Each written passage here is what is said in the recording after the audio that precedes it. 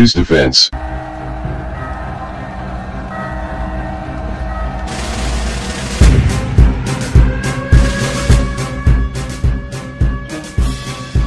The 4th Mechanized Infantry, Classic, Battalion conducted a functional test of the newly acquired M125A2 Armored Mortar Carrier, AMC, equipped with a 120mm mounted mortar system, MMS, which was held in Pantao Ragat, Lanao del Norte on February 2023. The activity aimed to test the said new assets on its effectiveness and adaptability to actual ground deployments.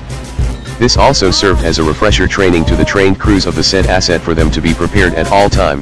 The new AMCs are part of the Philippine Army Modernization Project of Armor, Pambato, division that will capacitate the country's land forces credible defense posture from various threats, local and international. The Philippine Army's 2nd Mechanized Infantry Brigade, Armor Pambato Division held a functional test fire of three M125A2 armored mortar carriers equipped with the Soltam Cardom 120mm mounted mortar system, MMS, at Pantao Ragat.